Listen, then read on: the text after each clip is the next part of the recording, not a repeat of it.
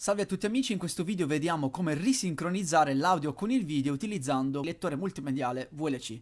Allora, cosa intendo per risincronizzare? Può succedere che il video e l'audio eh, non siano ben sincronizzati, ovvero vedete che c'è un ritardo o un anticipo rispetto al labiale del personaggio che, eh, non so, state interpretando in un video oppure un filmato, eccetera, eccetera. Allora, che cosa possiamo fare? Ho preso qua un mio video questa è una modifica, attenzione, in locale, quindi non è una modifica da montaggio video. Una volta effettuata, chiuso e riaperto il video, tale video riavrà di nuovo il solito problema.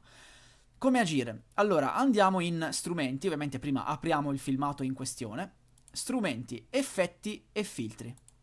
E andiamo alla voce sincronizzazione. Ecco qua. Di base troverete 0,000, quindi sincronizzazione, traccia audio eh, in secondi è 0. Adesso possiamo aumentare per ritardare l'audio o possiamo diminuire per accelerare l'audio, quindi siamo in anticipo.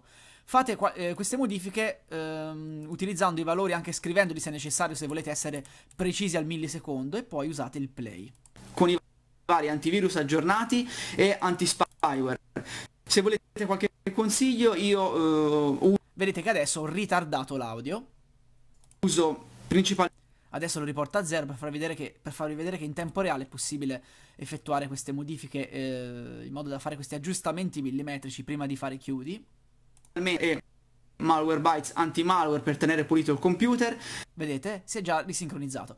In questo caso ovviamente il mio audio era già a posto, quindi sto facendo una prova giusto per farvi vedere come funziona, qua era già a posto. Quindi muovetevi con il selettore giù o su per aggiustare l'audio, quindi se è ritardato accelerarlo, se è accelerato allora ritardarlo.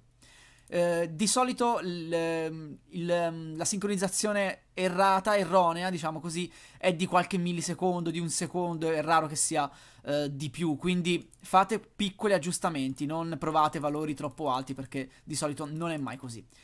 Eh, alla fine farete chiudi e poi tornate a fare play. Un saluto a tutti.